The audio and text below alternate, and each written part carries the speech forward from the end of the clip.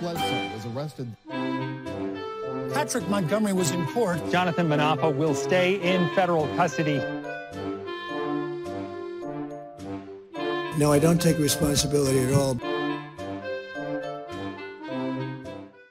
Everyone, welcome to the show. So, 42 year old Tennessee resident and former National Guard Sergeant Jose Padilla, whose full name is Joseph Lino Padilla, he was convicted of crimes he committed at the Capitol.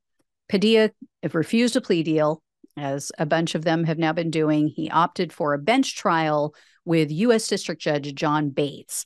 And after several days of testimony, Judge Bates ruled that Padilla was guilty on 10 counts two counts of civil disorder, assaulting officers, assaulting officers with a dangerous weapon, civil disorder, obstructing an official proceeding, entering restricted grounds with a dangerous weapon, disorderly conduct on restricted grounds with a dangerous weapon, physical violence on restricted grounds with a dangerous weapon, and disorderly conduct on Capitol grounds.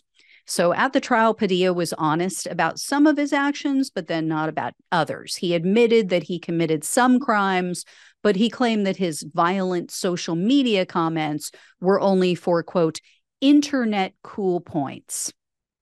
Apparently, he's a big gamer. So he's trying to like gain clout online.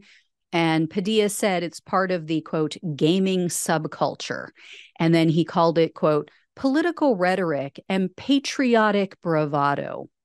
So Judge Bates made it clear he wasn't buying some of this testimony, um, especially about the threats that he made on January 6th. So, for example, at one point during the attack, Padilla had told an officer that if you guys let us into the building, that the quote machine will be gone.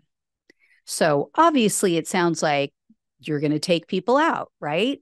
Well, Padilla tried to claim that he just meant that Trump would get a second term and that he would, quote, fire everyone he could legally fire and probably fire some people illegally too. so the judge said, quote, I don't credit his self-serving claims that he only intended to follow legal processes.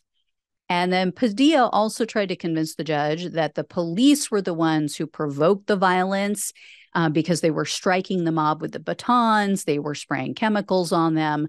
So, based on the most serious of the felony convictions, Padilla is facing up to 20 years in prison. Um, you guys know how this goes. It's never going to happen. But the judge scheduled his sentencing hearing for September 13th.